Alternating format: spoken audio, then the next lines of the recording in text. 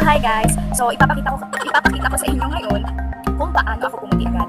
So ang sikreto ko talaga ay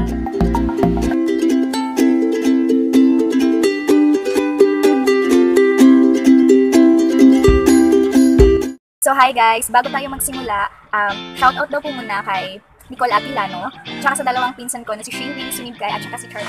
So sa kanila, thank you pala sa pag-support guys.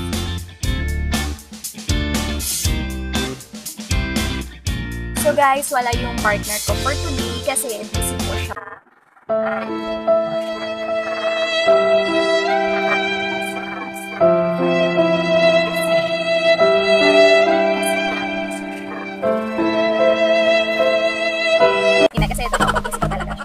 So, sa nakikita nyo na parang ang fair skin ko sa camera, yan po.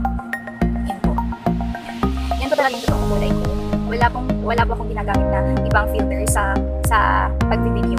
Um, natural camera lang po talaga ginagamit ko. Hindi po ako hindi po ako nag-edit or guys. So, so sa nakikita nyo, talagang ang ko sa camera.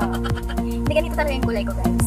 As in, wala akong iniinom na gamot or glutathione na sinasabi nila pakapaputi. Wala po talaga promise. Kahit na buhok ko eh, natural yan. Hindi ako nagpakulot at hindi talaga ako nagpasti. As in, natatakot ako sa side effects. Side effects ng mga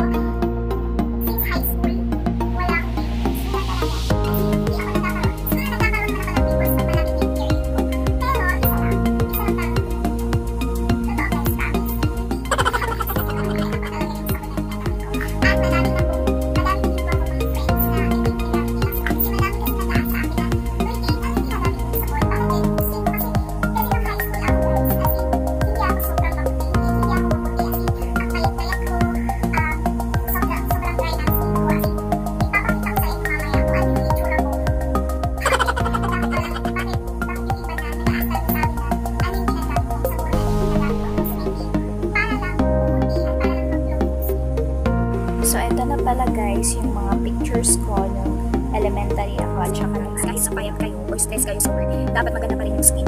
Dapat mukhang healthy pa rin kayo tingnan. Kahit na payat kayo or stress, at least hindi kayo yung mukhang, mukhang haggard, yung mukhang, ano yung tawag, low yun. Kasi meron kasi kahit na wala ka pang, wala ka pang anak, wala ka pang asawa, yung iba kasi dahil sa work, yung haggard kasi yung iba. Kaya kung ako sa inyo, ingatan nyo yung self nyo, lalo na na yung skin. Dapat kahit na, kahit, kahit na ganito tayo, at least, guwapa ka tayo, guwapa kang. So guys, yung second Power Whitening Lotion, glutathione plus vitamin C, tsaka may SPF na kasi siyang konti. Pakita ko sa inyo. Ano? Actually, ah, madami po kasi siyang ah, ganitong lotion. May ibang lotion po siya. Meron po yung ganitong lotion, color uh, light feel technology, skin with classic. Kaso nga po, may, ah, yung SPF niya po is 10 lang po. So, ang mas nakakabuti ko kasi gusto ko talagang pumuti is yung skin white glutathione po. May plus may vitamin C na siya, which is mas maganda sa skin. At saka may SPF 20 na po siya. Sobrang, sobrang effective niya to para sa sa skin promise. Lang talaga nag-glow yung, kasi nag-glow yung skin ko. At saka, nakaka-protect siya sa sun kasi nga SPF 20 na siya. So, mas maganda tong lotion kasi may iba't ibang klase ganitong lotion guys. Bali, tatlo ata ganito yung isang light pink, tsaka itong gluta, at saka yung color blue na classic light, light field technology na SPF 10 lang po yung meron. So, kung ako sa inyo, eto na ang pinili ko guys. Kasi yung dalawang tips na sinabi ko sa inyo, um, ah, y- yung yung lotion kasi, paminsan kasi hindi siya effective sa iba. Pero ang soap, effective talaga siya sa iba. Kasi naranasan ko na yan sa mga friends ko. Kasi may friend ako na lalaki na as in, two months na yung ginagamit yung soap. As in, pumuti talaga. Promise guys. At saka nawala yung mga pimples.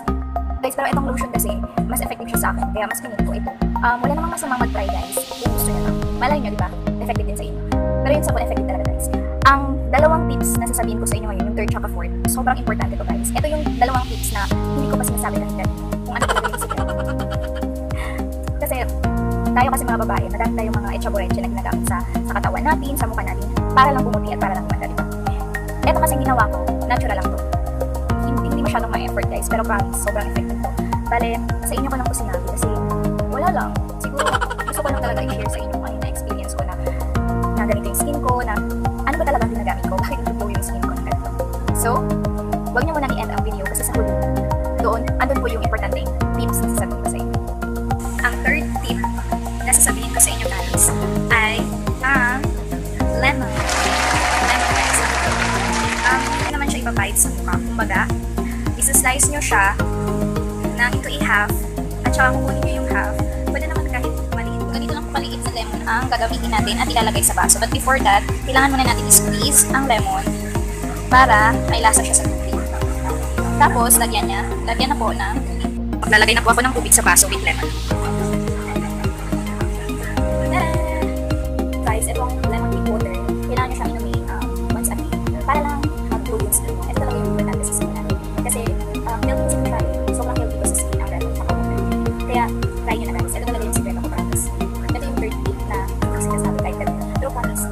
Lemon is good for your